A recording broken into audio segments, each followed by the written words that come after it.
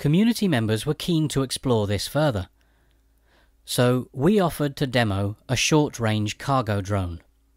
We placed medicines into the drone.